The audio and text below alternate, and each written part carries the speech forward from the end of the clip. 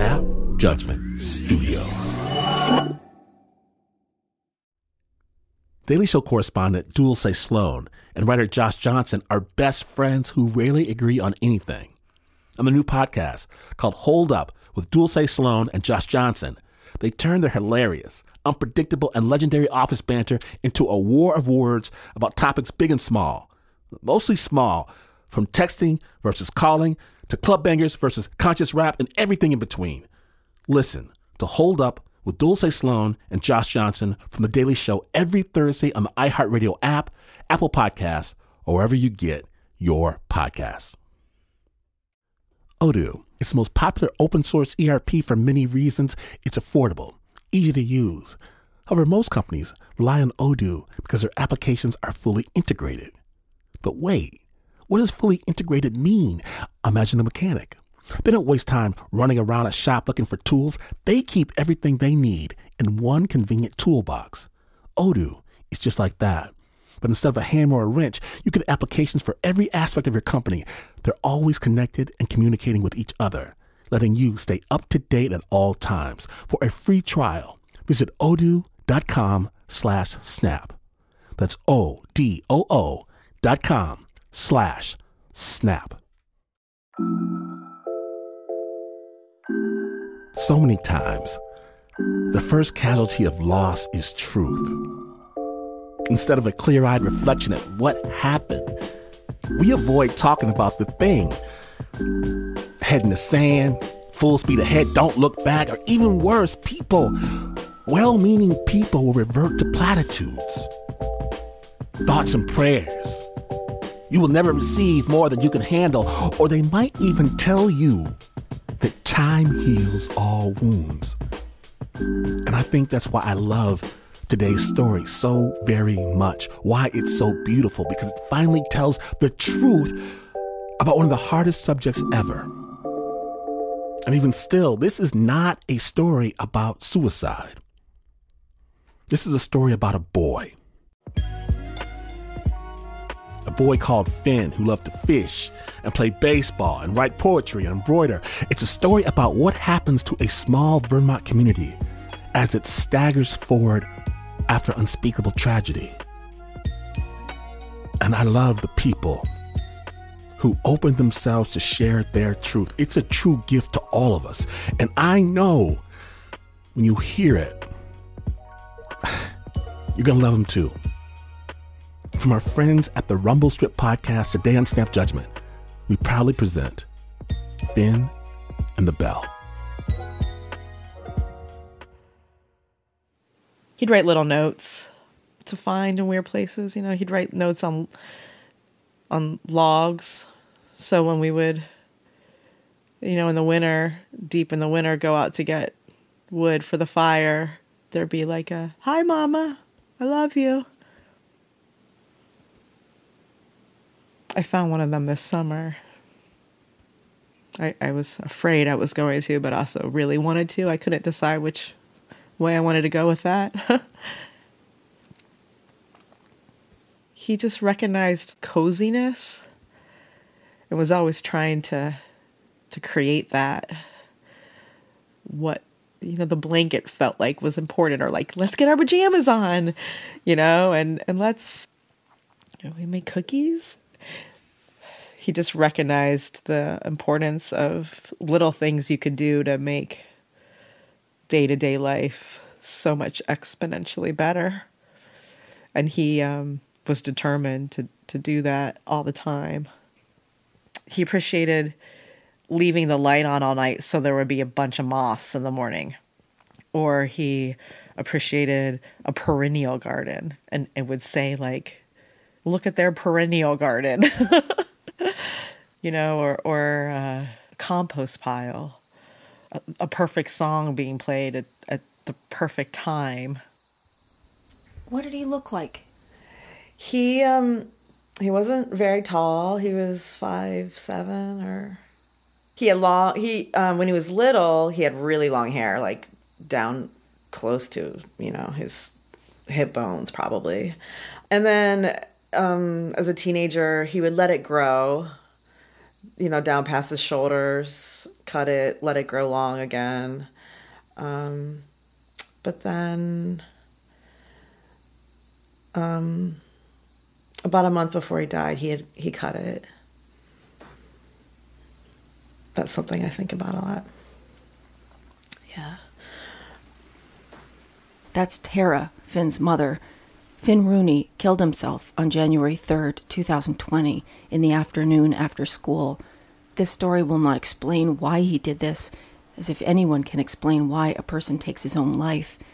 Suffice to say that not a single person in his life predicted this. There were no signs. The closest one can say is that there was a flash of high emotion that comes with youth, and there was a gun nearby and bullets. This is not a story about suicide. It's a story about a boy called Finn Rooney who lived in Walden, Vermont, near Hardwick, with his mother Tara and brother Lyle, and occasionally his father Alex, who is a long haul truck driver. A boy who loved to fish and play baseball. He played the euphonium not very well. He was the student body president, and right before he died, he had an idea about a bell. This is Finn's friend Alex talking about the town of Hardwick. Well, Hardwick's more like a, you know, just they got pretty much everything to a certain extent. There's a couple grocery stores, but they ain't big by any means. There's a Walgreens. There's a couple banks, two hardware stores, gun shop, a car deal, a Ford dealership. So there's not a whole lot, but it's definitely more than what Greensboro has. And what is the what are the people like in Hardwick different from Greensboro? Well, Greensboro, they're more. I've come across from working at Willey's over here in Greensboro. That Green, the Greensboro folk are a little more high class, I guess you can call it. They have a little more. Their pockets a little deeper.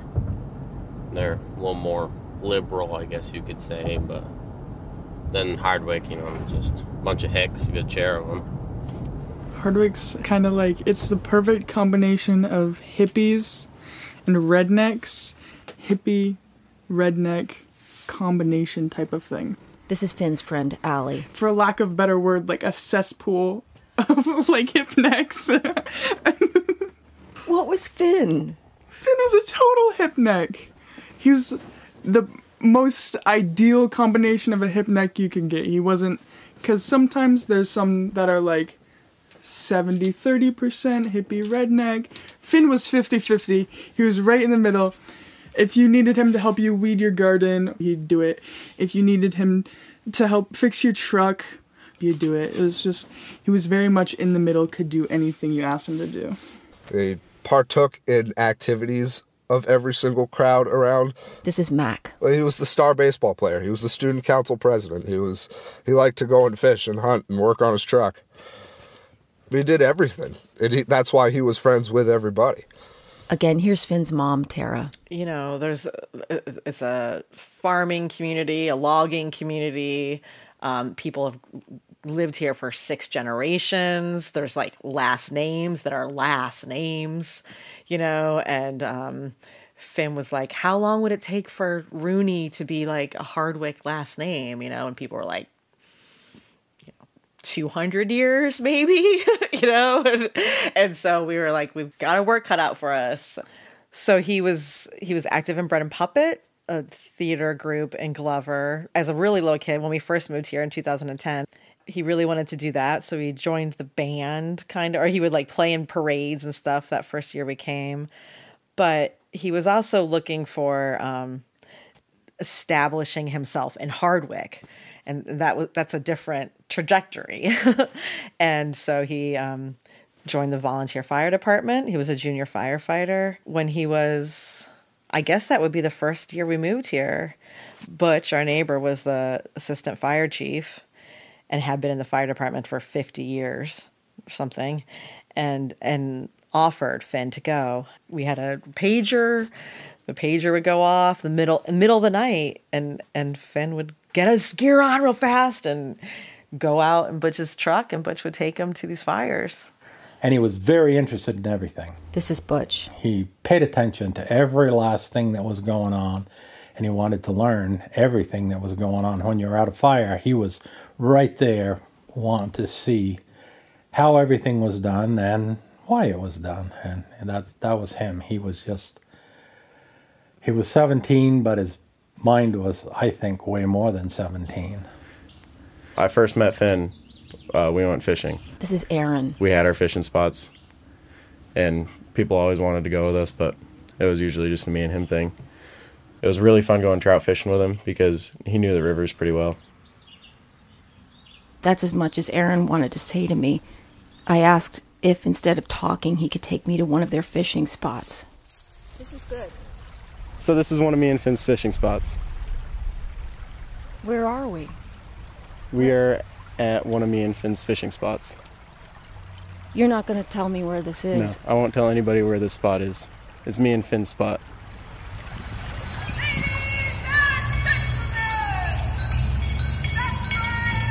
This is the sound of the bread and puppet circus.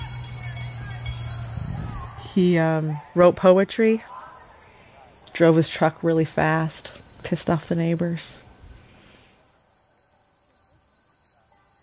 I remember he would uh, go out sometimes when I was making dinner and and and pick like seed heads, put them in a mason jar and stick it on the table, light candles, you know, without asking. He liked a well set table.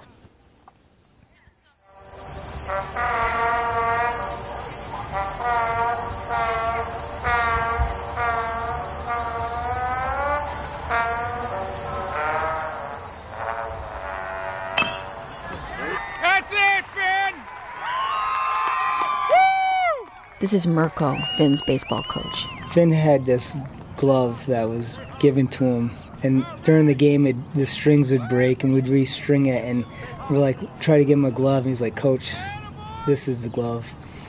And he had these cleats that were duct taped up. There's a new pair of cleats that were given to. We never had metal cleats, and at this level, they can wear metal. And then I see him at practice. He's wearing his old duct tape cleats up, and I'm like, Finn, you got a new set of cleats.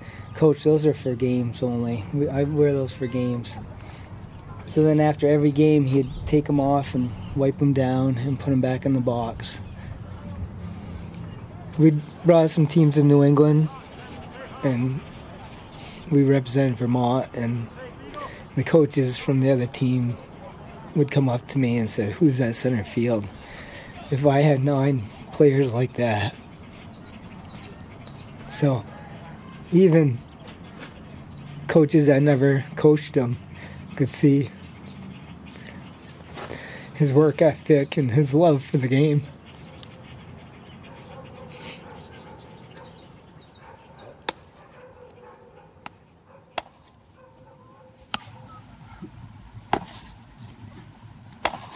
Lyle and Finn would every day for hours. That was the sound of summer. Was like the the sound of a ball getting into a glove. Come on, Lyle! Like let's go outside and. I find baseballs in the yard, you know, in the field all the time still. Because before we had the sheep, the grass would just get too big and they'd lose them. The the ball, that sound.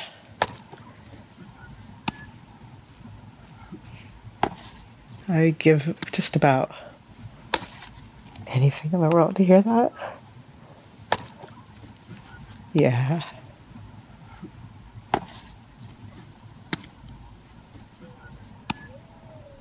In just a moment, we're dropped into the heart of a community. Stay tuned.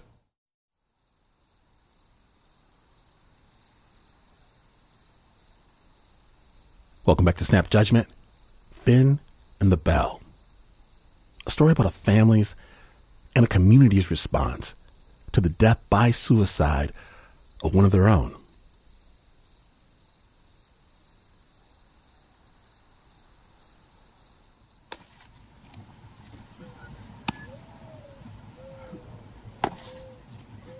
It was a Friday evening, and I was at home, and the phone rang.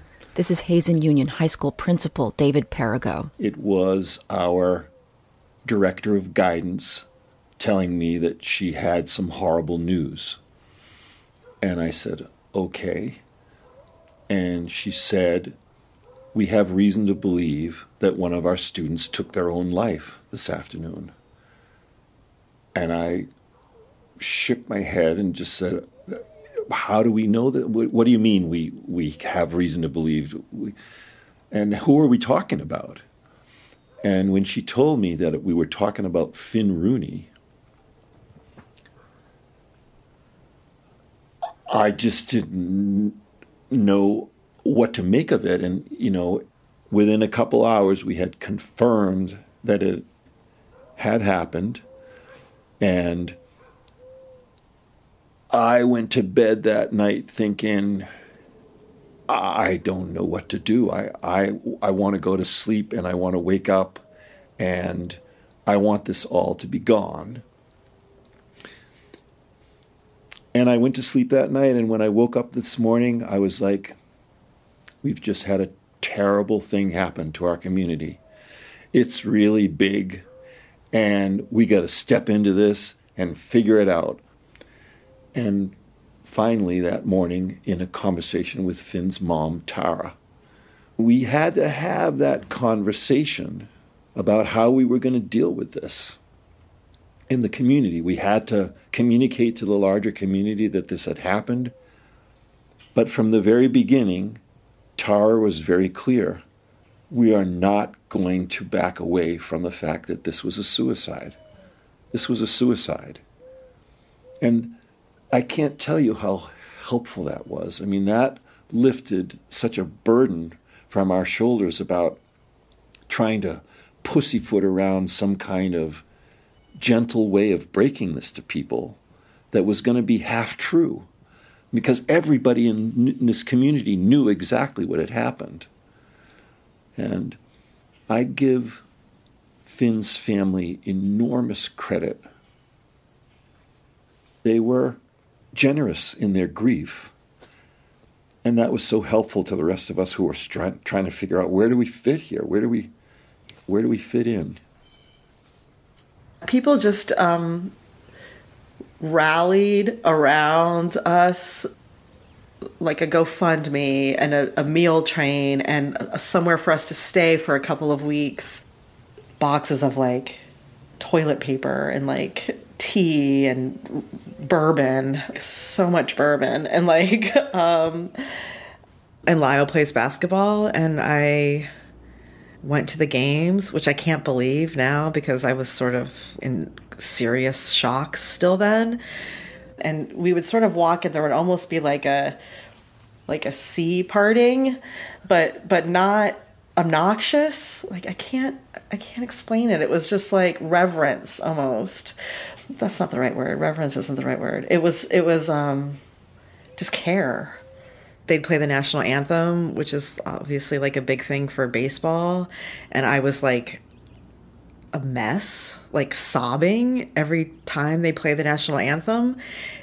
But then whoever I was sitting by would like put their hand on my shoulder, and whether it was like a logger or like a mom or a people just held us. Tom Gilbert uh, from Black Dirt Farm set up this this bonfire where he burnt rafters from his from his barn. Like 100 year old very special rafters. And and hundreds of people from town came and there were snow machines and there were farmers on, on John Deere's singing hippie songs. And it was deep during the primaries so politics were just really ugly at that time Faye was so eager for that to be over, just so people could have a bonfire. He used to say, I just wish we could all have a bonfire. And there it was. And it was, it was really beautiful, really uh, transcendent, and uh, really sad. Finn was student body president at Hazen Union High School. And in the months before he died, he heard a story about a bell, an old bell that used to hang in the belfry at Hardwick Academy in the middle of town before the school was knocked down in 1970 and Hazen Union High School was built right up the hill. He heard that they would ring this bell when Hardwick teams won away games so that the whole valley knew about the win altogether. Finn Rooney loved this idea, which maybe isn't surprising. He was a kid who had some notion of community being something inclusive and participatory, a verb even. He wanted to live in a town where there was a bonfire and everybody came. Finn was not a fan of smartphones or the internet in a lot of ways. So this was a way that people communicated that was different than posting it on Facebook. and he really loved that idea. He also thought that it could bring together different f- people in Hardwick. The whole election and stuff was really bumming him out, and he thought this was a way of of um, everybody would be excited to hear the bell. So he ran for student body president, and that was sort of his main platform was that he was going to get the bell back to Hazen, and there was yeah, and actually everybody was like, "What do you?" Kids didn't know about the bell, but he explained that there used to be this bell, and that he was going to get the bell back, but that he also didn't want it just to be for sports. That he was going to make it like if somebody won a spelling bee, or if somebody was born, that they would ring the bell. We talked about it a lot at dinner. Um, his dad says he remembers Finn being in his truck and talking about the bell. Like it, it was just this this thing. And so then when he died, quickly there was a lot of talk about getting the bell. It sort of took on a life of its own. Finn passed away in early January, the first week of January. And his passing just rocked the community at a level that um, was inexplicable no one would have ever believed that this could have happened to Finn. So when Finn passed, the community was in shock for quite a long time.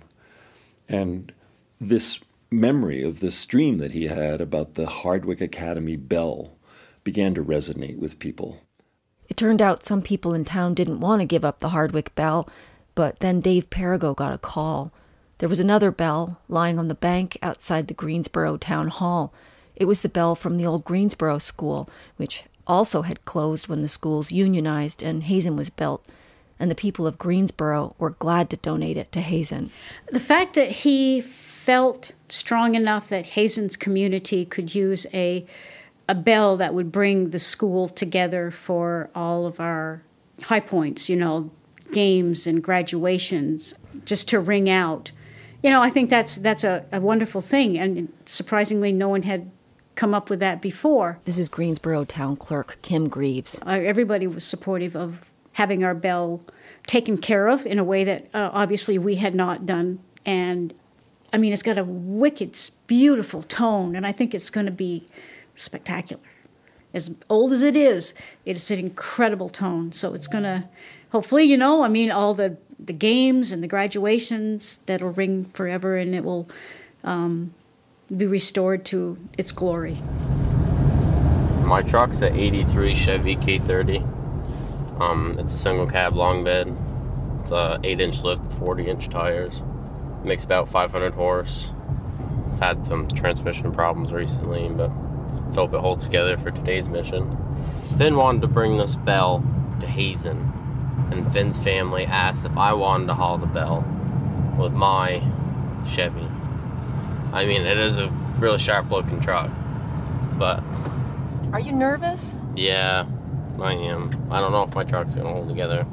I got the whole town of Hardwick and Greensboro on my shoulders, so I don't need to mess this up by any means. But if I do, if my truck does die, then Finn would have definitely appreciated that okay, you're yeah, going yeah. right around the circle and come out on the other side. Yeah. That'd be beautiful. So, on a rainy day in the spring, people gathered in the parking lot at the Greensboro Town Hall for the moving of the bell. Baseball players, Butch and the Walden Fire Department, town clerks and farmers and the Bread and Puppet Band, and Alex with his enormous bright red truck.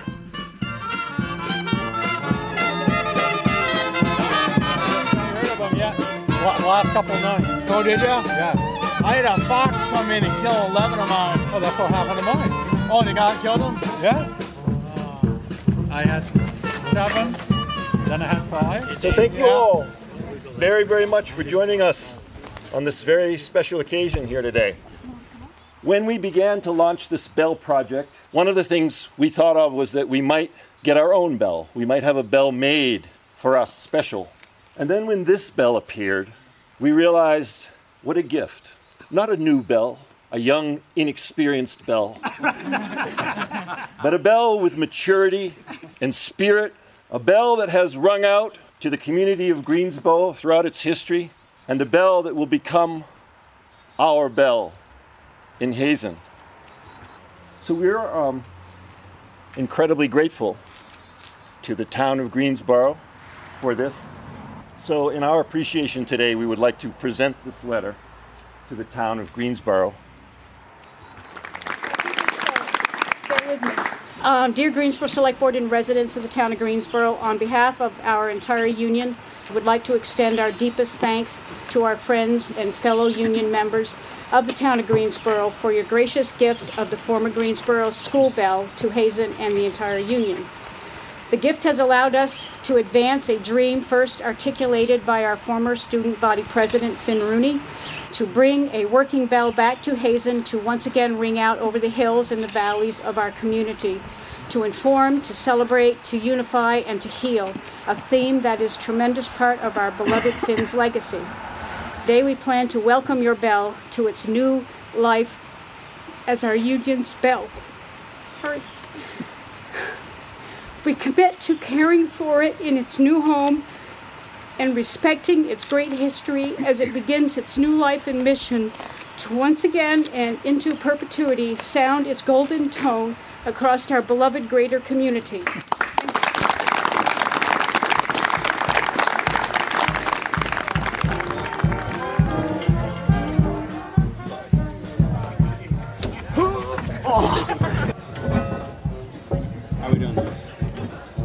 Gotta, gotta bring that in a little bit towards me. There you go. There we go.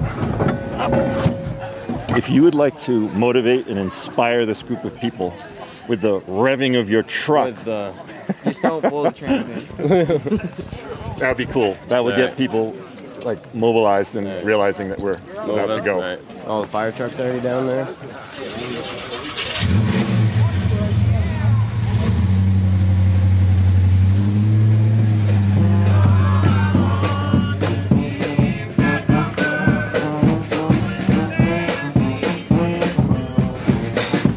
So Alex and Lyle and a few other guys loaded the bell into the back of Alex's 83 Chevy K30, and the whole party, along with the Walden Fire Department and the Bread and Puppet Band, convoyed down to Hazen Union to deliver the bell to its next home, just like Finn wanted.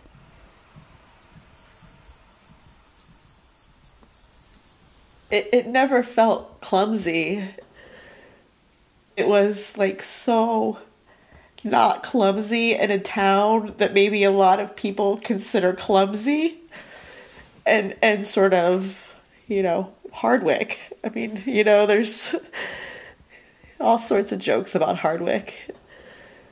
It was sort of that idea of Hardwick that was actually the most beautiful, real human experience of my entire life. I'd walk to the, go to my mechanic, and he was sobbing and like, can I change your oil? or like, the diner has a sandwich named after him. The one year anniversary, there were people made snowflakes with his name on them and taped them all around town. The bell.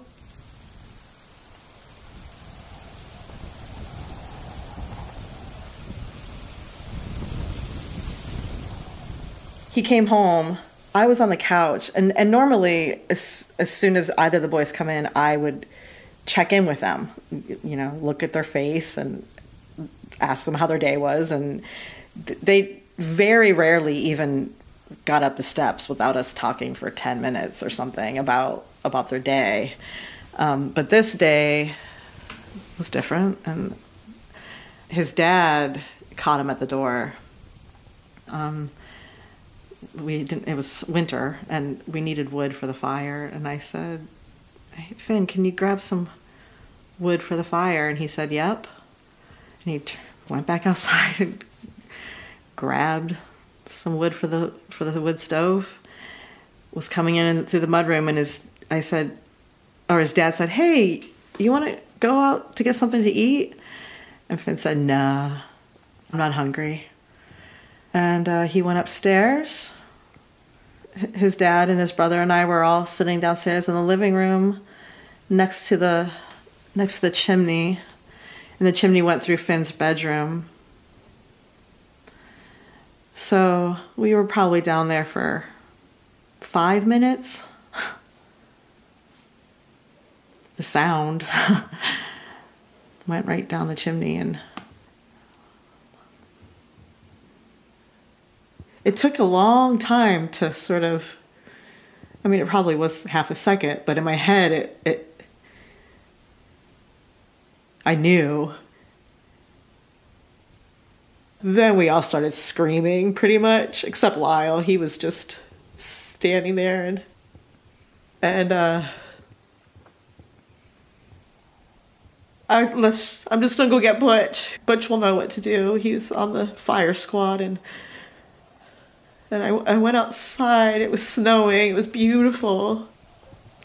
I, I put on whichever boots I could find. They they were mismatched, and, and like one was Finn's and one was Lyle's, like Bogs, and uh, they were both left feet. and I, and I it was like I was watching it all. I can't, I can't explain, but um, but not what like it, it's not that I wasn't present. I, I was like fully present, but also like watching it at the same time. I don't know if that makes any sense, but I I, I got to their barn. They have this big floodlight on their house. I, I, I got there and it was snowing, and, and you know sometimes when you look up at a light and it's snowing, it's like so beautiful and um, I, I, I stopped screaming. I, I'd been screaming this whole way. And I, I, I looked up at that light, it was snowing, and um,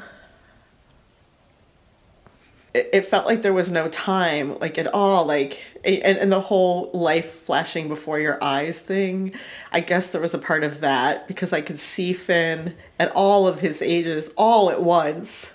All at once and and me all at once and like uh, everybody I'd ever met all at once.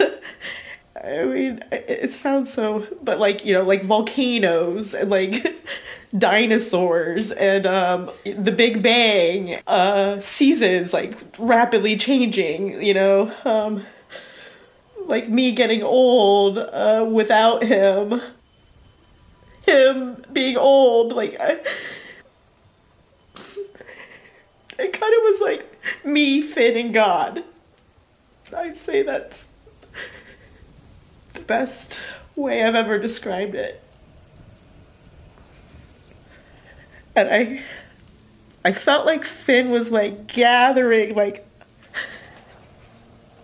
like all of what was left of him, like the energy that was still like all like everywhere because he was just such a big person.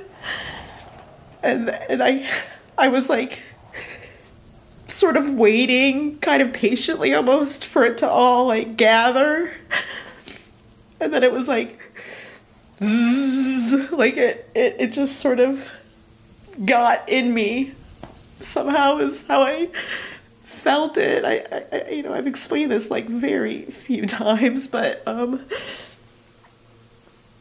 it was like infinite compassion for like every single person that had ever lived, like including me and, and, and including Finn for doing this. I, remember saying out loud, Oh! like I understood for for just a second there, like why we were alive and it felt like it was for each other.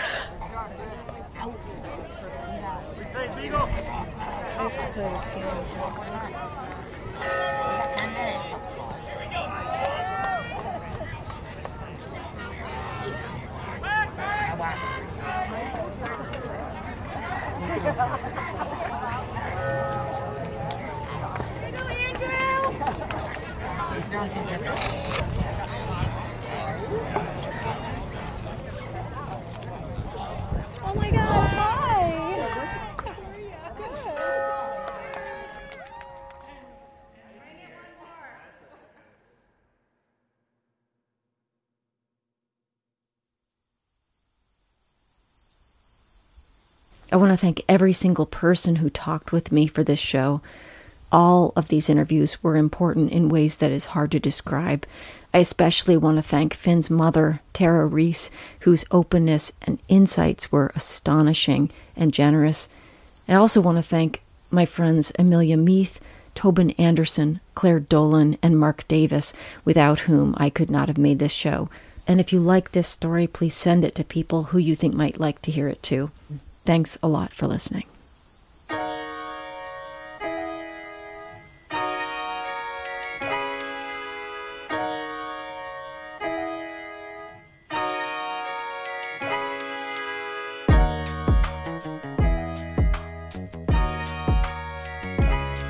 That was Finn and the Bell, produced by Erica Heilman for her podcast Rumble Strip. This is a podcast you need to know about. Big thanks to Tara Reese for her insights and for her courage in the making of this show. And thanks to all the people of Hardwick, and thanks as well to the Bread and Puppet Band. Now, if you or someone you know needs support, the National Suicide Prevention Lifeline telephone number is 800 273 8255. Since this show was made, Erica and Tara and their friend Rose started an organization in Hardwick called the Civic Standard, whose mission is to give the people of Hardwick plenty of excuses to get together and to make events where everyone is welcome and everyone comes.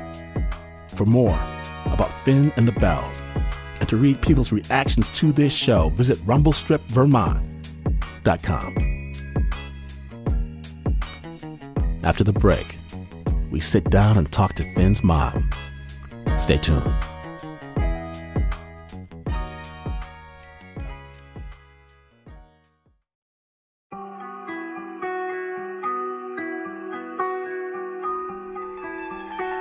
Welcome back to Snap Judgment. My name is Glynn Washington, and we just heard the amazing audio story Finn and the Bell from the Rumble Strip podcast. And right now, I'm lucky enough to sit down with Finn's mother, Tara, and really just speak to her about opening up.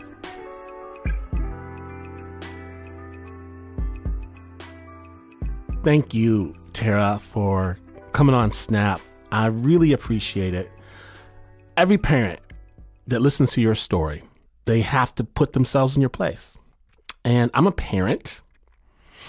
Imagining that space that you were in and knowing myself, um, I know that my world would get smaller and darker, but you went the other way and you let people in. I guess the way that you dealt with this situation was that an echo of Finn? Yes. Uh, um. Sorry, I'm I'm trying to form thoughts. Um. He. He was still so present. He was so present with everybody, um, li- right off the bat, and like everybody wasn't afraid to feel his presence, and it was remarkable. And then everybody sort of knew it was remarkable, and so then it just kept growing and that felt like Finn. Um, but I mean, it was like everything felt holy. Um, you know, a baseball game afterwards felt, you know, like everybody was just a, a little bit closer to um, to truth. Wow. You said holy. You all set up the bell as a monument to kind of Finn's desires, his wishes. What do you feel when you hear that bell ring? It's complicated. I mean, even you know, truthfully, even the bell happening is complicated. Was complicated. Um, the bell. I actually rang it yesterday. Really? um, Why? This this this bell because the the um the the rope is usually wrapped up, but the the kid the soccer team must have won a game the night before and they hadn't wrapped it back up. And I, I teach at the at the school um well I facilitate a class. And um the woman um who I facilitate the class with it was the anniversary of her father's death. And we were walking outside and the rope was dangling and I said I'm going to ring that bell. It was it was the middle of the day at the school. So I I told the you know the attendance lady hey you know it's not some you know wily teenagers ringing it. it's going to be me. And then i went out and rang it. I had never done that before and i mean it's beautiful when you're when you're right underneath that bell it's it's amazing. I mean there's a whole other story after uh, about everybody who banded together to make to get that bell refurbished and and actually hung and people people working together to ma- actually make that happen was a whole other thing that's kind of what I wanted to ask you about. One of the words that keeps coming up is community. And um, it feels like you had an embrace in a way that maybe I certainly didn't see coming. I wonder how it felt to you. Yeah, I also didn't see it coming. I I was sort of expecting to be um, ostracized, to be honest. and and I don't know where that idea came from. Um, you know, I think I, well, I know I had, you know, preconceived ideas of what kind of teenagers killed themselves. um, if I'm honest.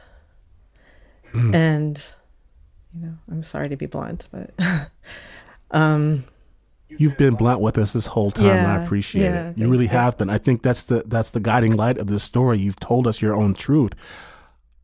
So please don't stop now. I thank you. I think we every everybody in Snap Nation thanks you for just telling the truth. Um I wept with you. And um we've never met before. And I laugh with you too when I think about this brilliant, beautiful boy. I've got a brilliant, beautiful boy. A ridiculous boy. Mhm. And I was actually with him when I was listening to some of your story, and it made me squeeze on him really, really, really, really, really, really, really tight. And I felt love from your story. I felt like I it, it gave me um power to just squeeze that this big old huge kid I have and hug on him without there wasn't the darkness of that. I, and I, it was a gift that you gave. I want to run away from the darkness, and you've let me kind of look back into it a little bit and, and look at it for what it is. Did you do that before this? Yes. Was that part of you before? Yes. Um that was sort of my my way of enduring before and and the way that I taught the boys. You know, Lyle said you always told us to pay attention to everything, but now what all what that means is that everything that I paid attention to reminds me of Finn. I I can't turn away from everything that reminds me of Finn because there would I would just I mean, you know, a black hole would still remind me of Finn. I, I also think that part of the reason it, it turned out the way it did for me is that I, you know, when your kid kills himself, I, I, I cannot. Guilt is um for every, you know, motherly miscalculation, whether big or small, is is pretty much unbearable. I mean, it continues to plague me. Um, but in order in order to to keep going, you have to start forgiving yourself. And what that what that did for me is also made it easier for me to forgive everybody else. Does that mean forgiving Finn? You know, I haven't I haven't gotten to the point where I'm angry with him and and that's a true statement. You know, I think most of us have been in a very dark seconds and Finn had a gun. Right. And that wasn't his fault. That was a real a real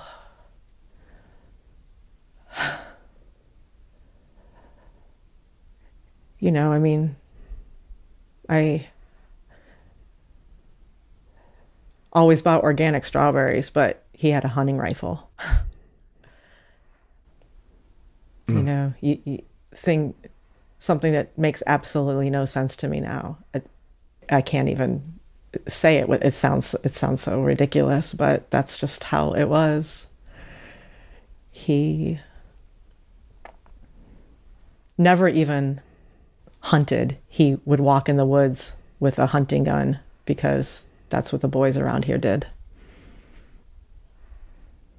You mention despair and how so many people are going to benefit from hearing you speak so openly about your experience. It's such a gift. Thank you. And it's such a gift.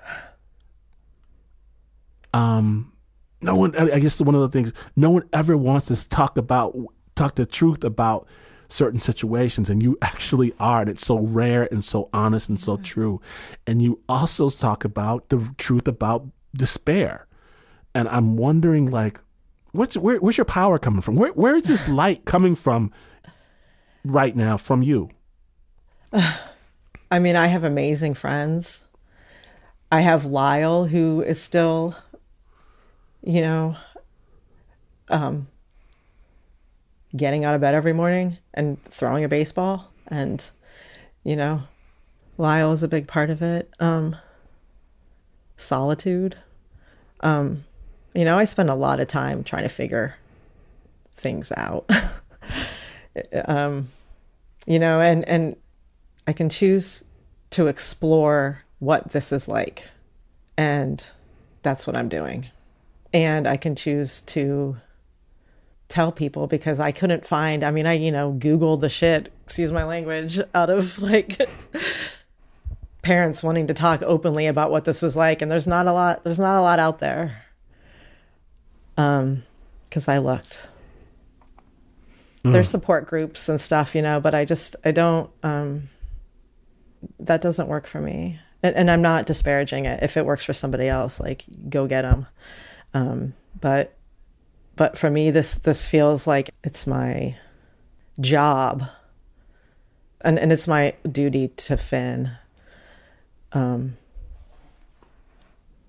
you know, I I think, you know, he this this was a spontaneous, deci- really bad decision. Um, that we are all left with living for the rest of our lives. And uh, that's not going to stop. You know, it's it's a hard it's a hard reckoning. I, I, I know that death is that that that is a universal thing that happens, and um, suicide is different. Um, Well, Tara, is there anything that I haven't asked you that you'd like to talk about? No, I mean, um, yeah, I know I'm not the best interviewer. I sort of. Uh... You're the fa- most amazing interviewee of all time. Thanks. There I you go. Tara. I am. I am blown away. I am honored. I am grateful. Erica made a wonderful story. I'm in audio, and I hear a lot of stories. Sure. And um, I love this story so much, and I really, really thank you for your openness and, and allowing it to be made. Thank you, and and you know, endless thanks to Erica and and for you, um, to be giving this for her as well. You know, I mean, Well, I can't wait for everyone to hear it, and love to your entire family. Seriously. Thank you so much. Thank you. Take care of you and, and yours as well. I- I'm taking care of them a lot better thanks to you. A lot more um consciously. Excellent. That's that's all I can hope for. Um, for everybody and, and I appreciate you telling me that. Thank you. It's true. Thank you. Have a good day. You too. Take care. Thank you, Tara. Thank you, Erica. To learn more about Finn and the Bell, visit rumblestripvermont.com. Think about where you've just been, what you've just heard, what you've felt, and know that hours of amazing journeys on the Snap Judgment podcast are available right now, wherever you get your podcasts. And please know that this is not the news. No way is this the news. In fact, you could tell everyone that you care about how much you love them. You can tell them right now, right this minute, even the ones you're angry with, especially the ones you're angry with. You could do that, and you would still not be as far away from the news as this is. But this is TR.